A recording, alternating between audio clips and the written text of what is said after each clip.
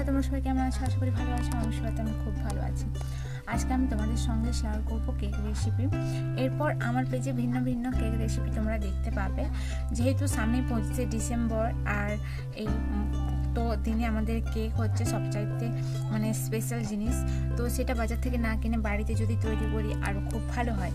তো আজকে আমি শেয়ার করব কেক রেসিপি তো ভালো লাগলে অবশ্যই লাইক কমেন্ট শেয়ার করার অনুরোধ রইল। যারা আমার চ্যানেল নতুন, তারা অবশ্যই আমার চ্যানেলটি সাবস্ক্রাইব করে দিও। তাহলে চলো আজকে দেখে নিই সুন্দর একটা কেকের রেসিপি প্রথমেই আমি এখানে মোটামুটি সাইজে একটা জাম নিয়ে নিয়েছি। মানে একটা পাত্র নিয়ে নিয়েছি। তোমরা যে পাত্র নিতে চাও, নিতে পারো। একটু চওড়া দেখে নেবে। তো এর মধ্যে এবার কাপের পরিমাপ করে আমি সমস্ত কিছুটা দেব। এখানে দিয়ে দিচ্ছি এক কাপ পরিমাপের চিনি গুঁড়ো। চিনিটাকে গুঁড়ো করে নিয়েছি। তারপর এখানে দিয়ে দিচ্ছি একটা ডিম। ডিম, ডিমটাকে ফেটিয়ে দিয়ে দিলাম। এরপর এই চিনি আর ডিমটাকে খুব ভালোভাবে অনেকক্ষণ ধরে এভাবে ঘেঁটে ঘেঁটে কিন্তু মিক্স করব। মিক্সটা অবশ্যই কিন্তু ভালো হতে হবে। আর এর মধ্যে ডিমটা যেহেতু দেওয়া আছে, তো সেই জন্য যাতে গন্ধ না করে, তো সেই জন্য আমি কি কি ব্যবহার করছি বা কীভাবে পারফেক্টলি একটা কেক তোমরা তৈরি করবে, সবটাই কিন্তু ভিডিওটা অবশ্যই ফার্স্ট টু লাস্ট দেখতে হবে, তাহলে খুব ভালোভাবে তোমরা বুঝতে পারবে। স্কিপ করলে কিন্তু ভিডিওটা ঠিক ঠিক শেখা হবে না, তাহলে পরে এসে, পেজে এসে আমাকেই গাল দেবে। তো অবশ্যই বলব, ভিডিওটা ফার্স্ট টু লাস্ট অবশ্যই দেখো স্কিপ না করে। এরপর দেখো সেই কাপেরই হাফ কাপ পরিমাপে দিয়ে দিচ্ছি সাদা তেল। আর দিয়ে দিচ্ছি এক চামচ পরিমাণে ভ্যানিলা এসেন্স যেহেতু এখানে আমরা ডিম দিয়েছি, যেহেতু ডিমের একটা গন্ধ থাকে, সেটা যাতে না থাকে, সেই জন্য ভ্যানিলা এসেন্স ব্যবহার করা হয়েছে। এটা ডিম ব্যবহার করলে অবশ্যই কিন্তু ভ্যানিলা এসেন্সটা ব্যবহার করতে হবে, নয়তো কিন্তু কেকের গা থেকে একটা আঁশটে গন্ধ ছাড়তে পারে। এবারও আবারও সব কিছুকে খুব ভালোভাবে আমি মিক্স করে নিচ্ছি। দেখো, এখানে কিন্তু খুব ভালোভাবে মিক্স করে নিয়েছি। এরপর ওই কাপেরই এক কাপ পরিমাপে দিয়ে দিচ্ছি ময়দা। ময়দাটাকে অবশ্যই আমি চেলে দেবো।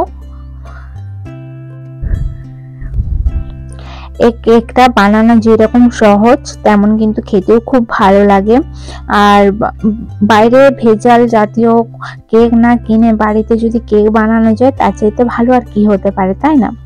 এখানে দিয়ে দিলাম এক চামচ পরিমাণে বেকিং পাউডার আর দিয়ে দিচ্ছি এক চামচ পরিমাণে বেকিং সোডা এবার সব কিছুকে ভালোভাবে মিক্স করে নেব। তোমরাও একটা কাপ পরিমাপ করে নেবে, সেই কাপের মাপ অনুযায়ী সবকিছু নেবে, ব্যবহার করবে, তাহলে দেখবে কেকটা পুরোপুরি পারফেক্টলি আসবে। আর আন্দাজ মতো দিলে কেকটার ঠিকঠাক হয় না। যেহেতু দেখো কেকটার বাটারটা আমার গাঢ় গাঢ় হয়েছে, সেই জন্য এখানে কিছুটা পরিমাণে দুধ ব্যবহার করলাম। কেকটার বাটারটা মোটামুটি মানে যেভাবে কেকের বাটার হয়, অবশ্যই দেখিয়ে দেবো। সেরকম যতক্ষণ না পর্যন্ত হচ্ছে পারফেক্টলি দেখো, এটা আমার বেশ মোটা আছে। তো সেই জন্য আমি আরও কিছুটা পরিমাপে দুধ ব্যবহার করলাম। আর দুধটা অবশ্যই গরম করা মানে ফোটানো দুধকে ঠান্ডা করে তারপর ব্যবহার করতে হবে। এবার সব কিছুকে খুব ভালোভাবে মিক্স করে নেব। মিক্স করাটা কিন্তু অবশ্যই প্রয়োজন। যতক্ষণ ধরে তোমরা মিক্স করবে মানে যত ভালোভাবে মিক্স হবে কেকটা কিন্তু ততটাই সুন্দর আর স্পঞ্জি হবে। দেখো, কেকের ব্যাটারটা কিন্তু আমার তৈরি ঠিক এইভাবে হবে মানে খুব বেশি ঘনত্ব না আর খুব বেশি পাতলাও নয়। ঠিক এইভাবে ব্যাটারটা আমি তৈরি করে নিয়েছি। কিন্তু খুব ভালোভাবে মিক্স সব কিছুকে ভালোভাবে মিক্স করতে হবে এবং অনেকক্ষণ ধরে নাড়াচাড়া করতে হবে, এটা কিন্তু অবশ্যই ইম্পর্টেন্ট আর এখানে ভিডিওটা এডিট করতে বসে প্রচণ্ড আওয়াজ হচ্ছে, সেটা হয়তো তোমাদের অসুবিধা হবে, সেখানে লোকের বাড়িতে কাজ হচ্ছে, আমার তো কিছু করার নেই। তো অবশ্যই মানিয়ে গুছিয়ে নেবে। এবার এখানে কেকটা দেওয়ার জন্য আমি এখানে স্টিলের পাত্র নিয়ে নিয়েছি। আর স্টিলের পাত্রটার গায়ে ভালোভাবে তেল দিয়ে আমি এখানে বাটার পেপার চিটে দিয়েছি। তো তোমরা বাটার পেপার না থাকলে তেল দেওয়ার পর অল্প একটু ময়দা নিয়ে চারদিকে ভালোভাবে একটু সেট করে নিবে, তাতেই হয়ে যাবে। এরপর এর মধ্যে আমি বাটারটা দিয়ে দিচ্ছি। বাটারটার ঘনত্বটা দেখে বুঝতে পারছ অবশ্যই। আর ঠিক বাটারটা এভাবে কিন্তু করে নিতে হবে। সমস্ত বাটারটা এর মধ্যে দিয়ে দিচ্ছি। এবার একটু ড্যাব ড্যাব করে নেব, তাহলে ভেতরে যে বাতাসটা আছে, তো সেটা বেরিয়ে যাবে। ভেতরে কোনো বাতাস আটকে থাকবে না, সেই জন্য অবশ্যই ড্যাব ড্যাব করে নিতে হবে, তাহলে চারদিকভাবে সমানভাবে থেকে যাবে। এরপর কেকটাকে সুন্দর দেখানোর জন্য ওপর থেকে আমি এখানে আমন্ড বাদামকে ছোট ছোট ভাবে কেটে নিয়েছি, সেটা দিয়ে দিচ্ছি আর কিছু কিশমিশ ওপর থেকে দিয়ে দিচ্ছি। এটা অবশ্যই অপশনাল তোমরা তোমাদের মতো ভাবে সাজিয়ে নিতে পারো, চেরি, তারপরে টুটি ফুটি মানে বিভিন্ন রকম জিনিস দিয়ে তোমরা তোমাদের মতো করে সাজিয়ে নিতে পারো। কেকের উপরটা সেই জন্য আমার শেষ।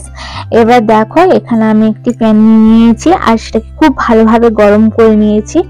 আর এখানে আমি একটা স্ট্যান্ড ব্যবহার করেছি প্যানের মধ্যে। তো সেটা ও খুব ভালোভাবে গরম করে নিতে হবে, গরম হয়ে গেছে। এরপর যে বাটার রাখা পাত্রটা, সেটা এর উপর বসিয়ে দেবো।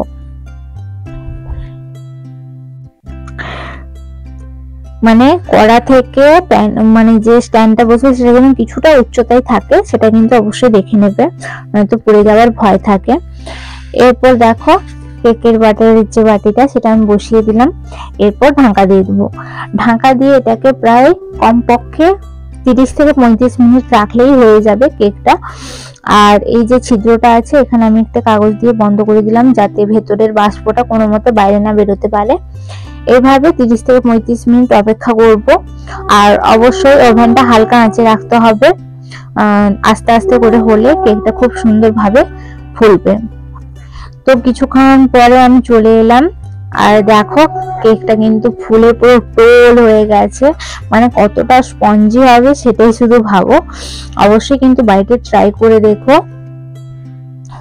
এরপর বাড়িটা পাঁচ মিনিটের জন্য রেখে দেবো ঠান্ডা হওয়ার জন্য। তারপর সাইড থেকে বাটার পেপারগুলো সরিয়ে নেব। আর এইভাবে বানালে কেকটা বার করতে খুব একটা অসুবিধা হবে না। খুব সহজে কেকটা কিন্তু ছেড়ে আসবে। আর কেক কে না খেতে ভালোবাসে, বাচ্চা থেকে বয়স্ক সবাই কিন্তু খেতে খুবই ভালোবাসে। তাই বলব অবশ্যই বাড়িতে ট্রাই করে দেখো, খেতে খুবই ভালো লাগবে। আজকের আমার এই ভিডিওটা যদি তোমাদের ভালো লেগে থাকে, তাহলে অবশ্যই কিন্তু লাইক শেয়ার কমেন্ট করার কিন্তু অবশ্যই করতে হবে। আর তোমরা বাড়িতে বানিয়ে ঠিক কতটা মজা পেয়েছ বা কতটা ভালো লেগেছে সেটাও কিন্তু কমেন্ট করে জানাতে হবে। আর যারা আমার চ্যানেল নতুন, তারা কিন্তু অবশ্যই আমার চ্যানেলটি সাবস্ক্রাইব করে দিবে। তো এরপরে পরপর আমি বেশ কয়েকটি কেকের ভিডিও পোস্ট করব। তো তোমরা দেখতে পারো। আশা করি তোমাদের খুব ভালো লাগবে।